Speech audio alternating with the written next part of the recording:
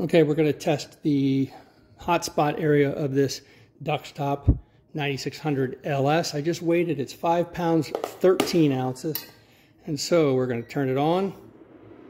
This is a ferrous pan, which I confirmed by checking it with the rare earth magnet. Now we're going to turn it on.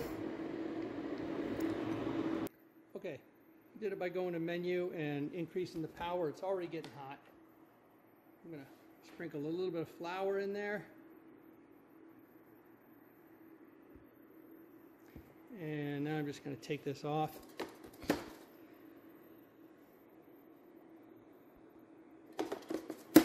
Yeah, I'm not going to be able to do it.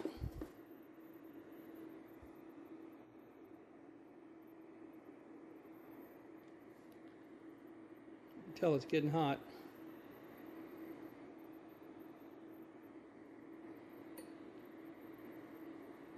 All right, I'll put it on pause and uh, time it how long it takes for that to burn. Okay, that's probably enough for us to measure it. I don't want to set off my alarms. Okay, I measured that across. Let's turn that off. And no matter how I cut it, it is five inches. Okay? Five inches for a hot spot. And to give you an idea, that thing is just under five inches, four and three quarter inches. So that's probably the actual hot spot. That's all it is. These induction burners are marketed with a lot of disinformation sometimes where they just starting they have these two rings here that gives you the illusion that it's going to heat a pot up here. In fact, this one only heats to this inner ring, five inches. Now, Duxtop on their marketing materials actually doesn't say an eight inch induction ring, but most of them do.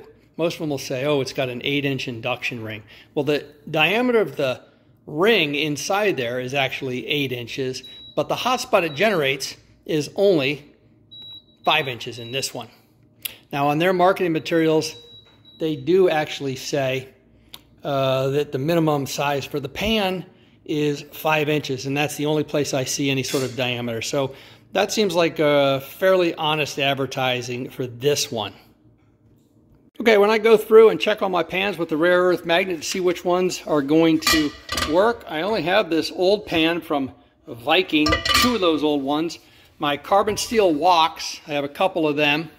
These three pans, this is a fairly new one I got to do omelets. You can see it's got a ferrous insert.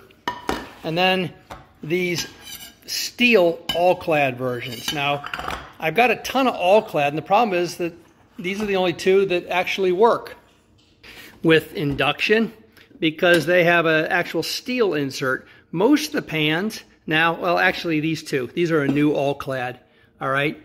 And these new all-clad have this ferrous insert. All right, so I have these two pans.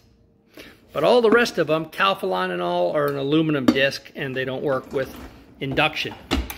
But my point here is that it turns out I have several pans that are just five inches or over.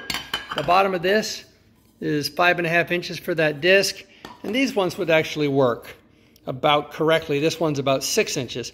So it turns out that for individual cooking, uh, while camping. These aren't a bad size, and they're actually just over the minimum required diameter. And so I'm actually not upset anymore that the hot spot on this is five inches.